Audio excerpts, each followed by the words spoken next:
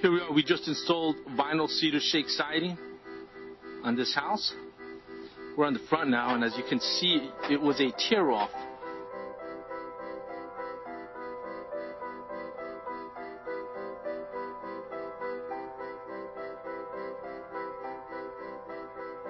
You see, that's what you want. That's what you want with every course once you install.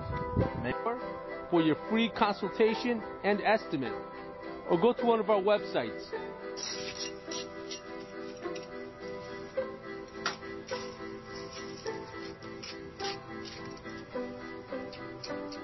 OJ channel, starter strip, straight.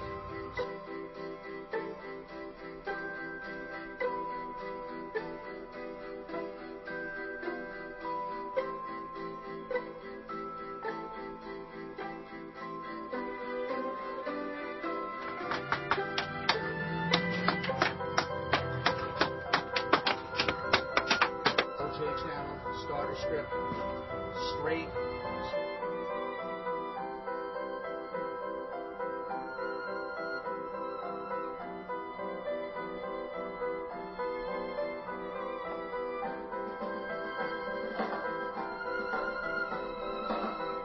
trim board. We're getting a nice peeled look on it. We have uh, some cold molding between the blocks. It's just finishing up right now.